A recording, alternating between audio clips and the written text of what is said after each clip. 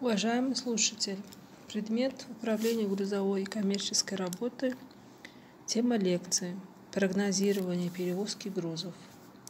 План лекции Временное прекращение и ограничение погрузки, выполнение принятых заявок, учет выполнения заявок на перевозку грузов, номенклатура грузов для выполнения перевозок железнодорожным транспортом.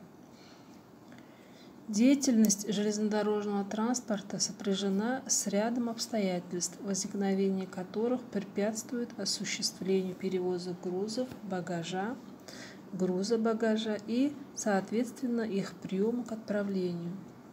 В зависимости от обстоятельств, определенных статьей 29 Устава, погрузка и перевозка грузов, груза багажа может быть временно прекращена либо ограничена. Прекращение либо ограничение погрузки вследствие неопределимой силы,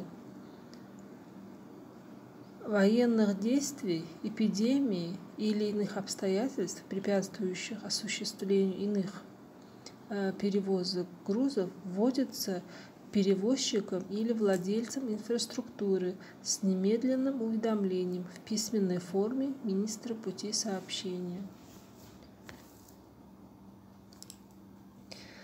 В исключительных случаях, вследствие сложившихся у перевозчика или при использовании инфраструктуры обстоятельств, препятствующих осуществлению перевозок, погрузка и перевозка грузов, груза багажа в определенных направлениях могут быть временно прекращены.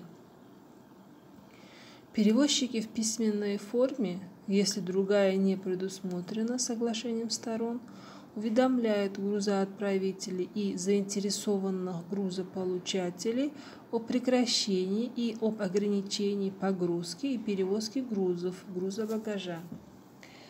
Грузоотправители в течение 12 часов после получения от перевозчиков уведомлений обязаны остановить или ограничить до установленных размеров погрузку и отправление грузов, грузобагажа в определенных направлениях.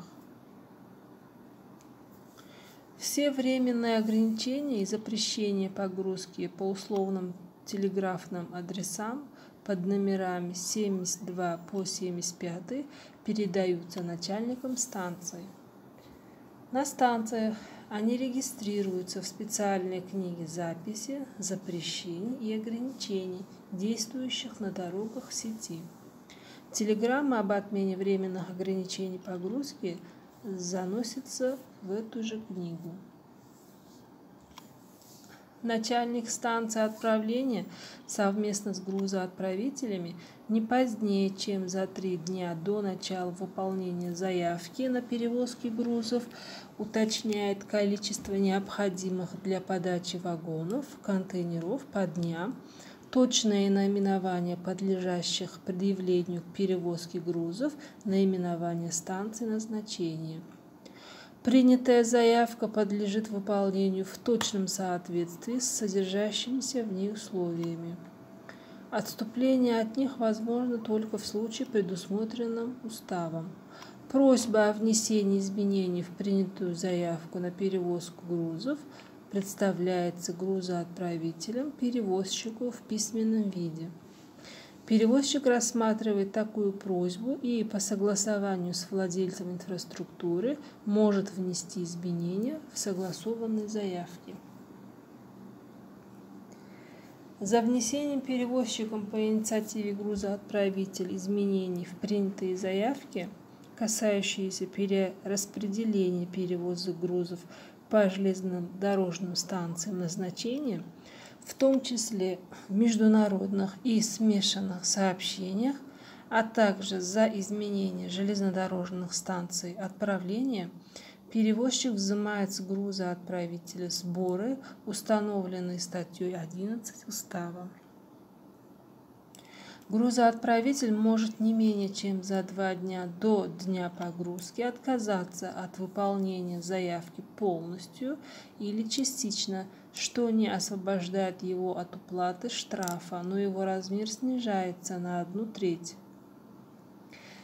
Данные принятых заявок на перевозки грузов заносятся в учетную карточку формы ГО-1, которая ведется уполномоченным представителем перевозчика отдельно по каждому грузоотправителю и по каждому наименованию номенклатурной группы груза.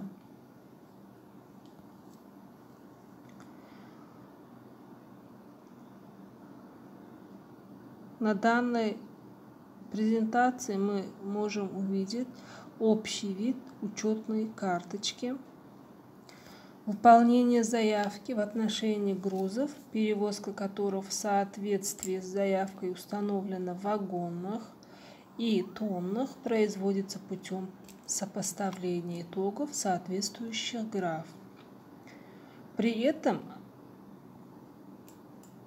Устанавливается количество незагруженных по вине перевозчика и грузоотправителя вагонов, контейнеров, а также величина общего незаполнения заявки в тоннах, допущенных по их вине. Величина общего невыполнения заявки в тоннах определяется путем умножения числа незагруженных вагонов, контейнеров на величину статической нагрузки, исчисляемой путем деления количества тонн на количество вагонов контейнеров.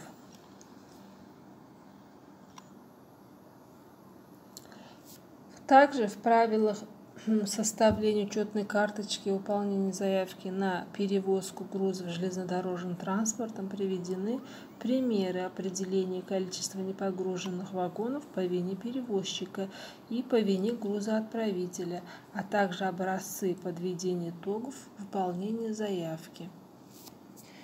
При невыполнении заявки на перевозку грузов вследствие аварии у грузоотправителя, в результате которой было прекращено осуществление основной его производительной деятельности, грузоотправителем должна быть представлена копия акта об аварии, составленная соответствующими органами государственного контроля и приложена к учетной карточке.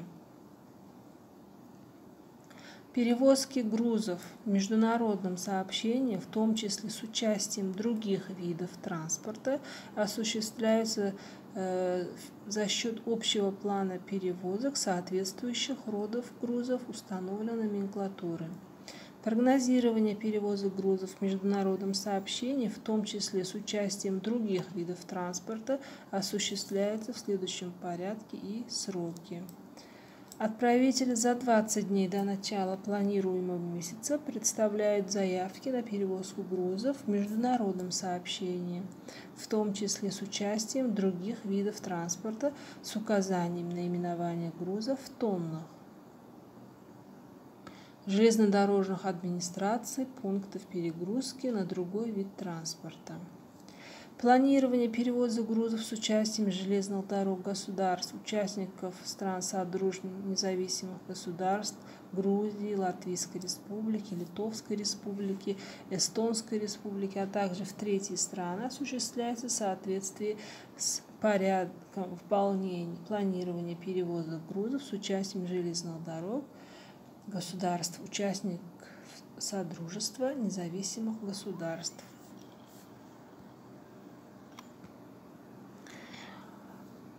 На данной презентации мы можем увидеть номенклатуру грузов для планирования перевозок железнодорожным транспортом.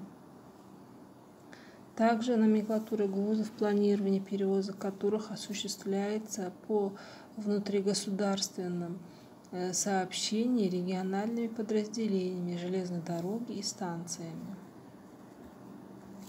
Также это номенклатура грузов, планирования перевозок, которые осуществляются во внутригосударственном и международном сообщении региональными подразделениями железной дороги.